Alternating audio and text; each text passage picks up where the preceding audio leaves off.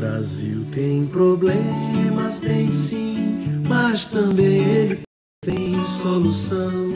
Tanto mar, tanto rio, tanto chão. É preciso somente cuidar dessa gente, tratar com carinho, mostrar o caminho que leva ao futuro. E o futuro não é nenhum salto no escuro. O futuro tá perto, ao alcance da mão.